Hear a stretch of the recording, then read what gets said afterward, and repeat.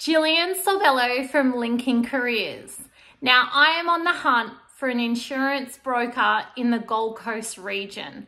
My client has a very stable team.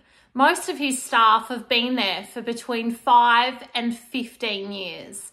So that really displays how loyal his team are and what a great culture they offer there.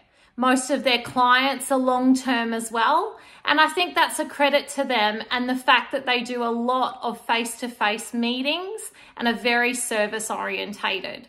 So if you have at least five years experience as an insurance broker and you enjoy getting out and seeing your clients face to face and are very service orientated, then I'd love to discuss this opportunity with you.